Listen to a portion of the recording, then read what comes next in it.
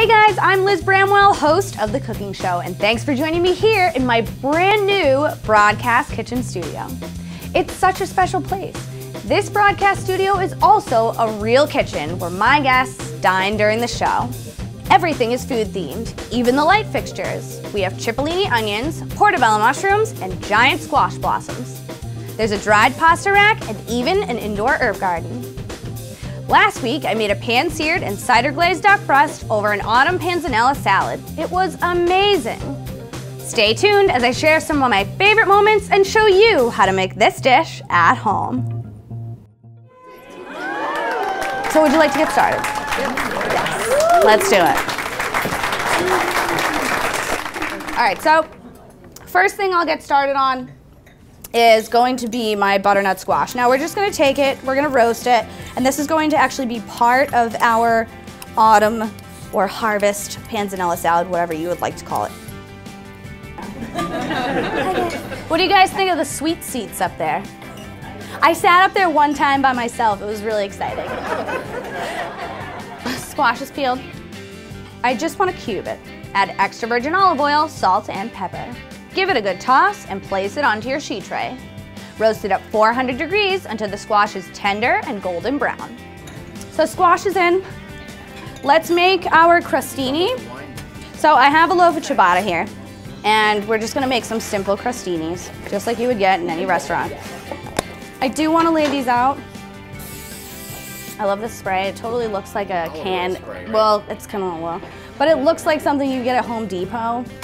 It's actually spray paint. Enjoy my crostinis, everyone. Silver spray paint comes out really nice. The gloss, I went for high gloss paint. I'm gonna melt a little bit of butter for the top of my crostini, just a little. That's like a tablespoon in my eyes.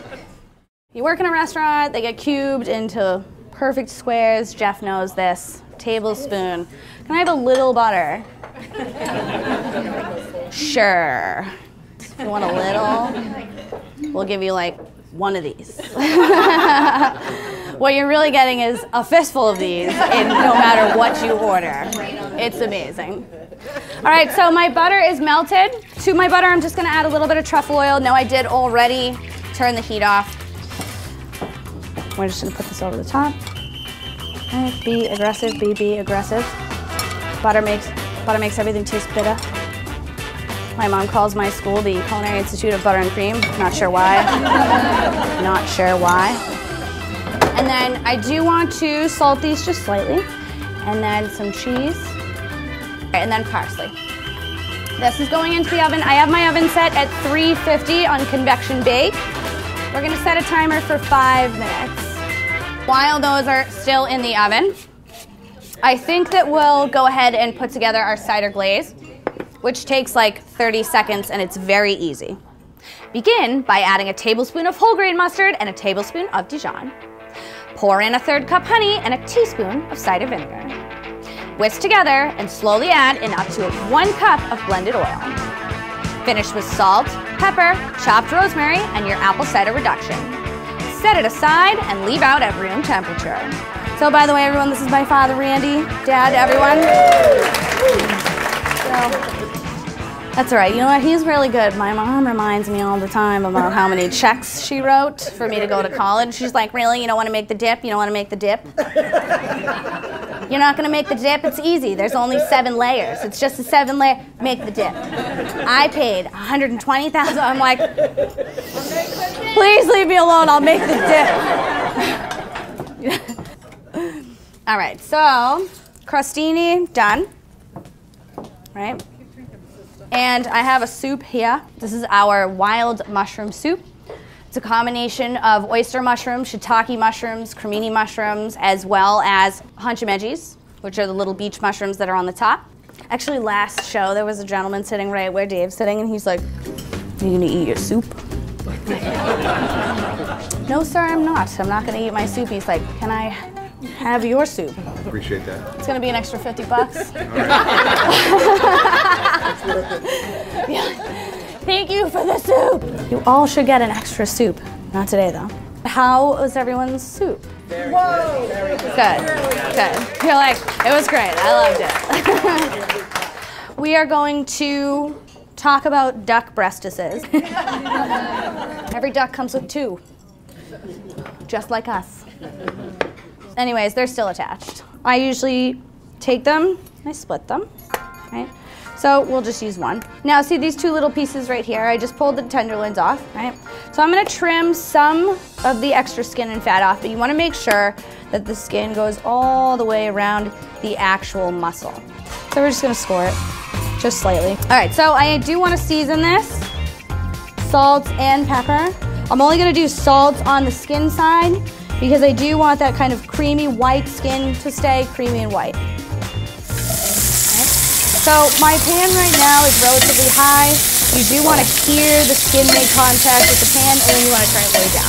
We're looking for at least 10 minutes of rendering on the skin side before we actually flip it over and then we go ahead and finish it and butter baste it. All right, so we're looking pretty good. So I'm gonna go for like another second. I did just turn it down. Then we'll flip it, we'll baste it a little bit. At this point, we want to start getting our panzanella already. Start by grilling any bread of your choice. I'm using ciabatta. Combine half an apple sliced thin and a cup of seedless red grapes. Sliver your radishes, then butter and cube your bread. Toss your salad with a couple tablespoons of your cider glaze and then finish with your roasted squash. So now I'm gonna go ahead and baste my duck breast, all right? Have the stove on low. I have a lot of duck fat in my fridge at home. Like for everyone who saves all the bacon fat, amen. You're doing a good job. You're doing a good thing. That sketchy coffee can, acceptable in my eyes. Everyone's got that Folgers can from like 1970 and they're like, this is my grandmother's fat can. I put the bacon fat in there and then I scoop it out to then cook more bacon in it. Let's slice my duck and then we're gonna plate up. Begin by thinly slicing your duck on an angle. Drizzle your aged balsamic reduction in a spiral and in the center of your plate. Place your finished panzanella salad, high and tight, right in the middle. Crumble your goat cheese and sauce your duck with your cider glaze skin side up. Finally, fan your duck over the salad, like this, and garnish with fried sage leaves. So guys, what do you think? Woo!